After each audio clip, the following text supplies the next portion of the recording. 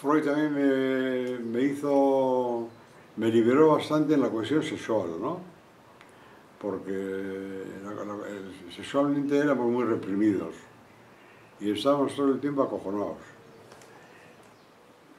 Y lo que dice el dicho ese, ¿no? Que es eh, que en Euskadi no se folla. O como se, algo un dicho más bonito, que se dice de otra manera, no me acuerdo. Pues eso es verdad.